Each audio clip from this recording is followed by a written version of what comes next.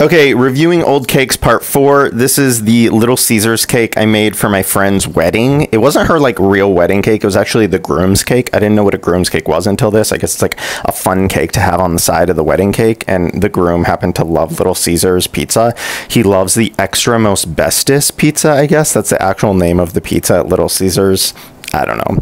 Anyway, uh, no shade to Little Caesars. It was delicious. Um, I was also the officiant of this wedding, and I was really worried I was going to say the wrong name of the groom. I, I was worried I was going to say my friend's ex's name instead of the groom's name. I didn't. Thank God. Um, I did the bare minimum, yay. Um, but I did a lot for this wedding, I guess. Cake, officiating. Anyway, this is not about the wedding. This is about the the, the pizza, the cake. Um, I don't know. It's okay. I could do better now. This I would give it like a B plus, maybe.